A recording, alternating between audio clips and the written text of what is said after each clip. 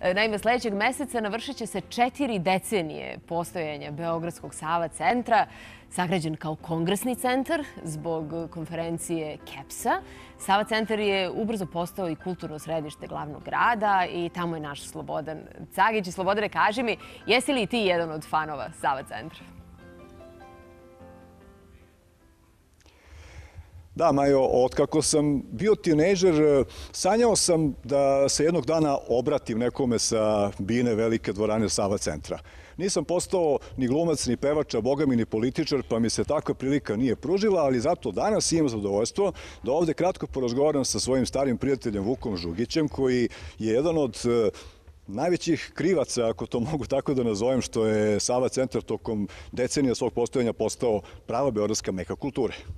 Pa zajedno sa stvarno divnim timom posvećenih kulturi, mi smo od početka verovali da od ovog kongresnog centra može postati naš kulturni bobur i zaista smo radili dugo i posvećeno da ovo postane najreprezentativniji, najuvaženiji međunarodni kulturni centar na Balkanu.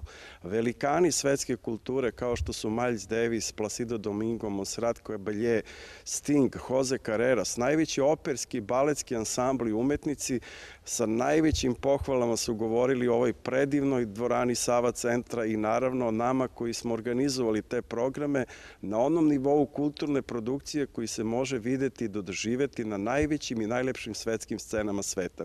Najlepša ti hvala o tome kako je kongresni centar postao ovo što, što danas Sava centar jeste. Razgovarao sam nešto ranije i sa Vukovim bivšim kolegom, današnjim direktorom Beogradske arene, Đorđem Milutinovićem, koji je 17 godina proveo ovde kao šef koncertne agencije i takođe je veoma zaslužan za to što je Sava centar to što jeste.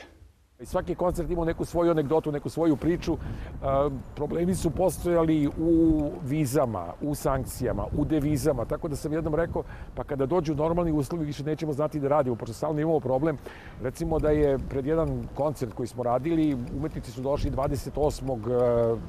novembra, u predvečeri 29 i jedan od njih je došao s ličnom kartom, naravno nije mogao da prođe, ja sam ga čekao u onom delu koji je free shop, moje, e, moje kolege su bile s ove druge strane, još nije bilo mobilnih, Tako da smo se mi kroz vrata dovikivali jedno 5 sati, onako vrata, ej, zovi Peru da zove Miku da ga puste. Tako da, to je jedna priča kako je bio ovaj posao bez mobilnih. Isto kao i James Brown, koga smo radili na sajmištu, koji je došao na binju, rekao, ljudi, povi su mi našli disko kuglu. On je tražio u svom rajderu disko kuglu, mi smo uzeli iz doma omladine, koji valjda to jedini ima, i okačili mu i on je posle kad je video disko kuglu potpuno promenio odnos, e, pričali smo mu šta je, kako je, zašto je to on veliki za nas, rasplakali ga, tako da i to je jedno veliko divno iskustvo kad je Sava centar gostova učestvovao na sajmištu i radio velikog James Browna.